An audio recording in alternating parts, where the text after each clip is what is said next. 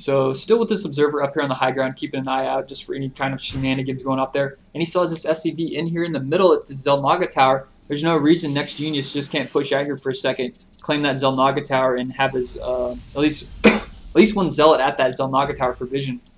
I mean, he does have an observer in his base, so he's not really worried about any oncoming push. But a, oh, a scan goes down. He picks off that observer, and instant with the eagle eye, seeing that little uh, distortion in the on the screen there that the observer makes whenever it flies across. He does see that and he does scan. So we have mostly Marauder and Viking army out for ensnare. And we actually have a drop here, uh, medivac coming in, doing a little bit of damage. And oh, almost losing that medivac, dropping those units. Maybe try to attack her from the high ground. Doesn't look like he got, actually he had two kills on that Marauder. At the same time he got that scan off.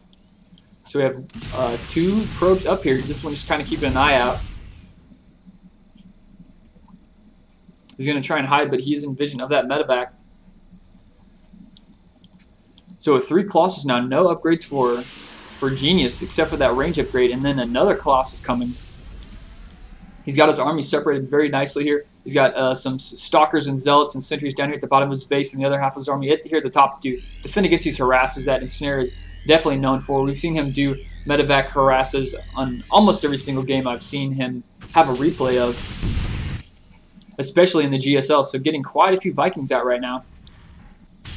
He has about five Vikings out right now, but there are four Colossus, so I don't know if this is going to be enough. Genius pushing out and taking out these destructible rocks at his gold.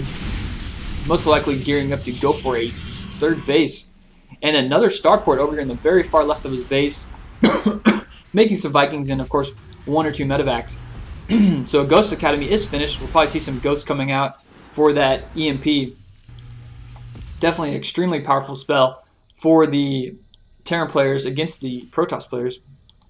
So here we go. We have some. Looks like we're gonna have some more Phoenix action going on.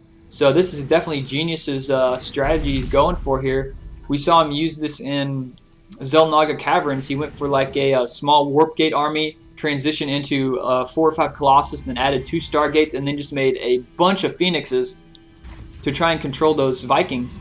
Because, of course, the Vikings want to be focusing down on the Colossus. With mostly Marauder army, he won't have anything else to deal with those Phoenixes, so he's going to have to have a huge number of Vikings to deal with this.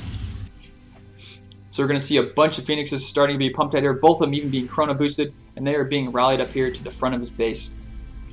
So let me check out the uh, uh, economy right now. So our Protoss player in the lead with four Harvesters, setting up his third expansion, and our Terran player actually expanding back here at the exact same time at the island. One of the benefits of being a Terran player, you don't have to build any kind of uh, transport units or upgrade anything to be able to expand at an island. So it's very, very handy feature for Terran players. so Incinerator seeing a little probe in here, doing some scouting. He does see that this structural rocks has not been taken down, so he does not have the gold. So two more warp gates being placed, and he has quite a few phoenixes. So he's getting kind of the number of phoenixes he wants. He's got more than enough colossus, and we'll probably see him push out with an attack here with these phoenixes. And this is not going to look good for Ensnare. He doesn't have any takes at this point, but he is a lot more Vikings than he did last game. He has one uh, one ghost up here, but it doesn't have enough to EMP. He wants to wait for this ghost to finish he wants to wait for enough uh, energy for an EMP. And Genius seeing the mass number of Vikings he's up against the sides he doesn't want to go to and doesn't want to attack. He wants to maybe fall back and get some more AA to deal with those Vikings. Actually, there's a drop back here. Instead of doing a drop, uh, Genius pulling his whole army back. Focuses, picks off that medivac first. Uh, there's no ability for those medivacs, uh, that medivac to pick up those marauders once he's dead, and he picks off all four of those marauders. So that was a relatively annoying harass. And Genius has seen this building over here, this barracks for the for the longest time, and he hasn't went and killed it. This barracks is just like the luckiest barracks in the planet. I guess Genius isn't too worried about it, but uh, he's picking off a little bit of transfer right there, that SCV transfer over to the right. Another scan going down right there, picks off that observer, and he finally is going to kill his barracks. That barracks did live for a whopping 21 minutes, unfortunately dying. So a huge Viking army flying around. Let's see if we have any upgrades for getting for any players. We actually have the armor upgrade for air. Where are those phoenixes at? Doo -doo -doo. There we go. He actually has the 1-1 upgrade for his air units and no upgrades for his warp gate units. Very interesting. Uh, and we have a big fight going on there. So many Vikings. EMP went off right in the middle of all those units. That was a great EMP. So many units with no shields. And these Vikings are just crushing those Colossus and those those Phoenixes. So now with basically Claw, uh, Viking and Marauder, totally fought back that whole push by Genius. That was great defensive play by Ensnare right there. All he needed was... Gotta get another drink here. Those two ghosts being extremely, extremely critical in that fight. Two great EMPs. You saw all the shields gone on basically 90% of his army. And those Vikings cleaned up those Colossus and Phoenixes so extremely quick. Let's check how many Vikings he actually has now at this point. 20 Vikings, 17 Marauders, and 2 Ghosts. Of course, 2 Medivacs in there thrown in there for uh, a little bit of healing for those Marauders. So stemming up, he's going to try and maybe pick off some Stalkers as he's running away with those concussive shells. And uh, the Marauder, or more well known as the Firebringer, I think, in Korea. That's what they like to call it. And we may have another EMP right there in the middle. That great EMP on the front of all those units, getting all those shields. And those those Vikings coming in, destroying that Colossus, destroying the Phoenix, and then falling back. He did his damage. He's going to try and run away now. So is going to need a little bit more of a ground army right now. It looks like that's what he is transitioning into with a bunch of tanks. And these Vikings are actually flew right over all that army. That was a big mistake there by Ensnare. Losing so many Vikings. Oh, he doesn't have Blink, but he's still killing so many Vikings. Wow, he just lost Oh my gosh, he's down to six Vikings pushing up here with his entire Marauder Ghost army. I didn't see any EMP goes off, but he's he lost every single one of his Vikings right there. Oh, that was a horrible misclick. And now Genius with the better ground army is pushing into this base, and he has a siege tank, but he did not siege. He's just running up there doing some damage.